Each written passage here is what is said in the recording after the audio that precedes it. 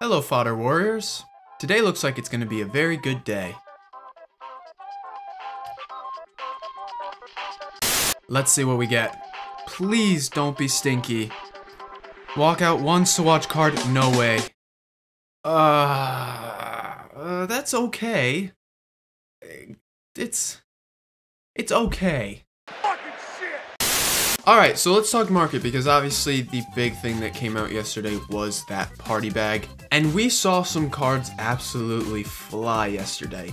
And I mean, we kind of did shout it out. I've been telling you guys to pick up those, you know, low rated informs at around discard price, specifically the 83s and the 84s. I said I didn't expect the 80s and 81s and 82s to also rise as much as they did, but they did. I mean, everything is up to about 15k. Like literally every single inform is up to 15k now.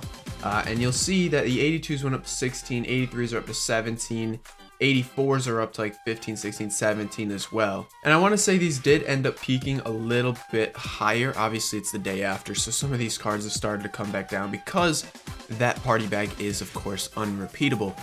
But I don't think it's the last time we're going to see it in this promo specifically. The fact that EA dropped this so early into the token set it just kind of tells me that they're gonna do it again. So don't be surprised if next week you see the same thing. So for this weekend, what I'm looking at I'm looking for these informs to kind of start to drop back down, specifically the team of the week that's coming out today on Wednesday. If you see these cards sitting at discard price, pick some of them up, throw them in your club if you have to, uh, and even some of the other cards. If you start to see these cards come down in price, pick them up, store them in your club because we know that we are going to be getting party bags. Not maybe not only in this promo, but for the remainder of FIFA. We'll probably see it a lot more in the future. So club stock, guys, it's really that easy to make coins. And of course, if you're not a super active player, I mean, you can go all in if you really want to. But as I said, I think the best bet is going to be picking these cards up from the new team of the week that comes out today. And we're going to have a pretty good one. Uh, I'm sure this video is probably going to be dropped before the team of the week comes out, so we might not exactly know what it is. Now, with the party bag coming out yesterday, it kind of gets me thinking about some of these other cards specifically these promo cards because I think some of them are just a little bit too low and I kind of feel like EA is going to require them in an SBC soon. I don't know whether it's going to be a player or whether it's going to be a party bag, whether it's going to be something. But I just, I can't see them letting these cards sit this low in price. Specifically the Embolo, Mbabu, and Pau Torres, and Turabab. I think that these cards are just a little bit too low, and you can even consider this one and, and even Graham at discard maybe. But I, I, think the 86s are probably the safest ones to pick up because of how low they are. For me, these cards are not only usable, but they're also just good and the only thing kind of keeping them down is links. So if we go ahead and take a look at just the cheapest uh, fodder prices we have currently, uh, you'll notice that with the 86s, the lowest currently is 12k, uh, and we saw two of them are set at 13k and 15k.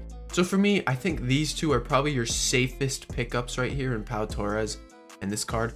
Uh, they're just too low, and I think if EA do decide to drop requirements needing, you know, these winter wild cards in for an SBC, these cards are going to go to the moon. They'll, they'll literally double in price. Now, here comes the money.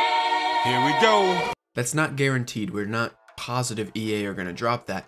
So for me, it doesn't hurt to pick up a couple, maybe just one of each, store them in your club, uh, because over time, when the supply gets cut off, the cards will end up going up in price anyways. But if you guys do get lucky and, you know, we do end up seeing an SBC um, that requires these cards, you, will see them fly like crazy. Now guys, let's talk gold fodder specifically here because gold fodder has been a huge discussion uh, because it really hasn't moved much during this promo yet. And I want to say this is just due to the fact that we haven't gotten the craziest kind of SBCs just yet. And there's also so much supply of these cards but they're slowly kind of chugging along. I'd say the higher rated is done all right on some SBCs, but majority of it really hasn't moved much.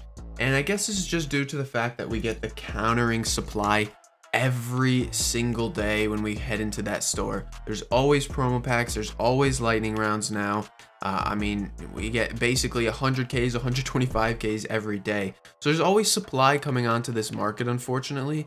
And that's kind of what's caused fodder to not move too much. And really the only thing that'll get it to really, really move is if we continue to get these SBCs where we have like the party bag requirements where it requires an 83 rated team, uh, something that everybody does and takes off a lot of the supply on the market.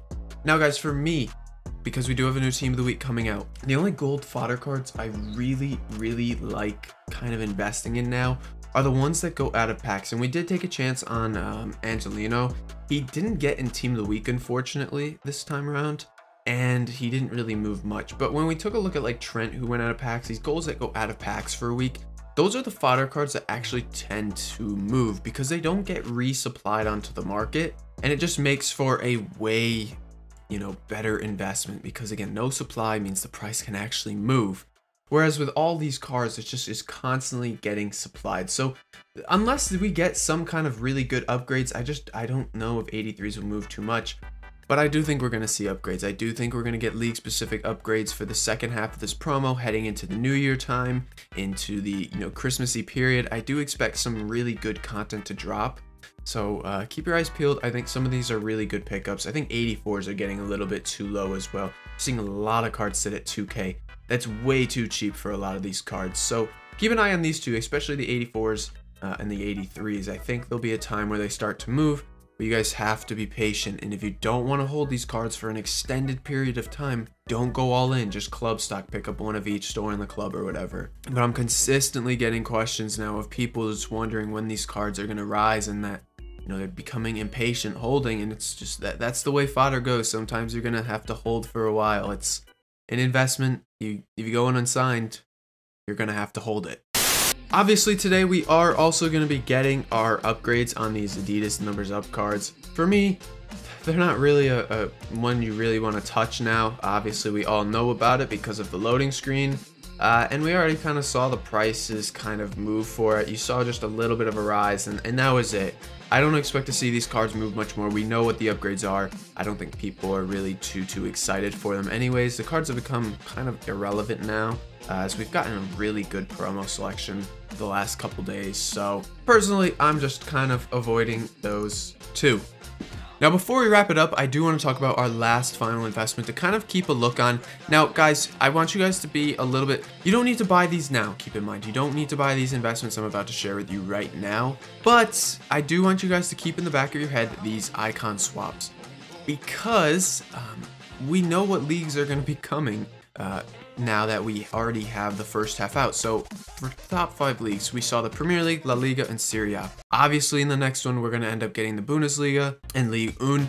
And then for the uh, mini leagues, we also got the Dutch one, which means we're probably going to get the uh, Portuguese league, Liga Portugal, Liga NOS, whatever it's called now.